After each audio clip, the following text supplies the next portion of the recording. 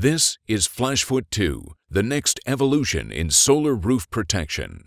Redesigned from top to bottom, FlashFoot 2 uses a stack of high-strength components to elevate the water seal a full inch above the roof plane. This is then complemented by the FlashFoot cap, which fully encapsulates the water seal. With the redundant protection of an elevated and encapsulated water seal, FlashFoot 2 is the only solar attachment to pass the TAS 100 wind-driven rain test.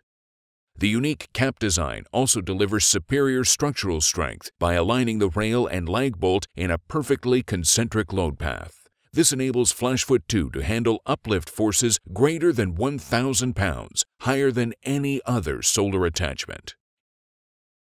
Installing FlashFoot 2 couldn't be easier. Ribs and rounded corners make it easy to slide the flashing between shingle layers, and alignment markers help you center it over the pilot hole. Once centered, you drive the custom lag bolt with the same socket as the rail. In just seconds, you're able to drive down the lag and snap on the cap. Then drop in the rail, fasten it, and you're finished.